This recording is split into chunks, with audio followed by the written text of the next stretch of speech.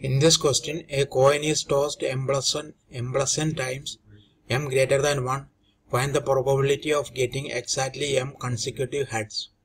Here we consider n plus 1 cases. In first case, we get m heads at first, then a tail, then n minus 1 tails or heads. So the probability will be it is probability will be 1 by 2 to the power m into half into 1 to the power n minus 1.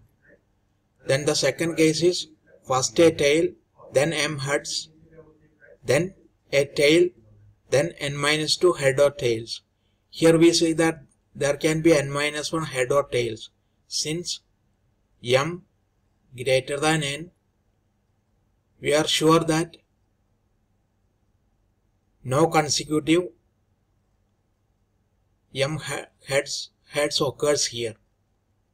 So the probability of the second case will be half into 1 by 2 to the power m into half into 1 to the power n minus 2. The probability of third case will be 1 to the power m into half into 1 to the power 1 by 2 to the power m into 1 to the power n minus 3.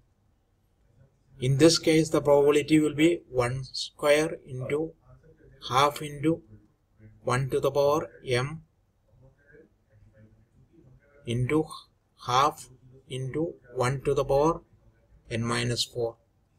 In this case the probability will be 1 cube into half into 1 to the power 1 by 2 to the power m into half into 1 to the power n minus 5 till we get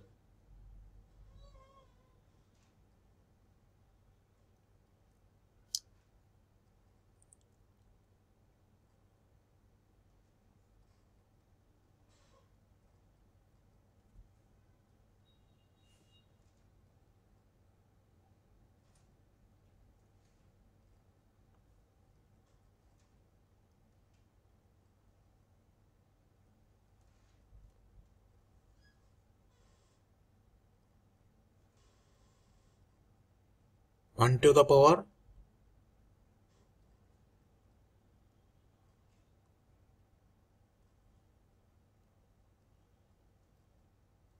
n minus 2 into half into 1 by 2 to the power m into half into 1 to the power 0. The probability of this case will be 1 to the power n minus 1 into half into 1 to the power 1 by 2 to the power m. So we can see that this is equal to 1 by 2 to the power m plus 1. This is equal to 1 by 2 to the power m plus 2. This is equal to 1 by 2 to the power m plus 2. This is equal to 1 by 2 to the power m plus 2. This is equal to 1 by 2 to the power m plus 2.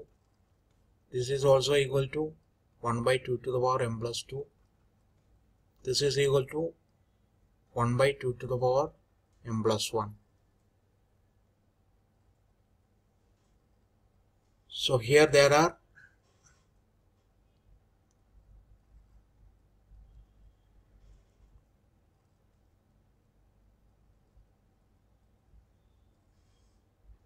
n minus 1 such cases and here 1 and here 1.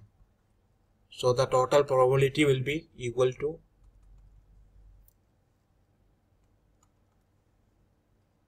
probability p is equal to 1 by 2 to the power m plus 1 plus n minus 1 into 1 by 2 to the power m plus 2 plus 1 by 2 to the power m plus 1.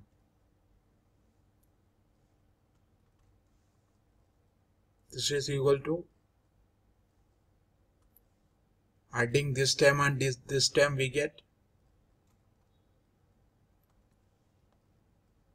1 by 2 to the power m plus 1 into 2 plus n minus 1 divided by 2 to the power m into 4 this is equal to 1 by 2 to the power m plus n minus 1 into 4 into 2 to the power m. This is equal to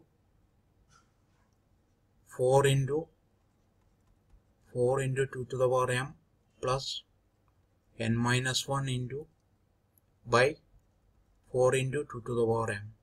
This is equal to n minus 1 plus 4 divided by 2 to the power m plus 2. This is equal to n plus 3 divided by 2 to the power m plus 2. That is the final expression for the probability. This is our final answer.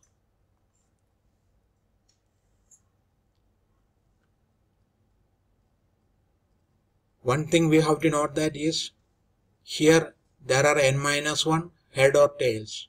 Since m, m greater than n, it is guaranteed that no consecutive heads occurs in this box. That is what we have to know. That is our answer.